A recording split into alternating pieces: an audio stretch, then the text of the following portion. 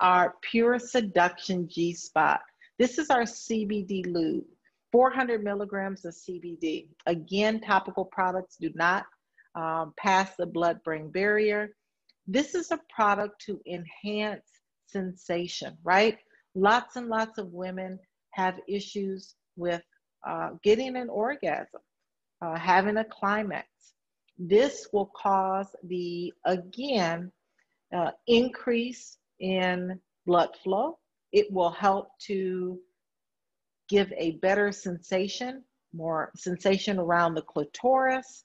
It is a product that you want to use on the outside of the vagina. You don't want to put this all the way in the vagina. You want to put it on the outside. It can act as a lubricant as well as enhancing the sensitivity around the clitoris.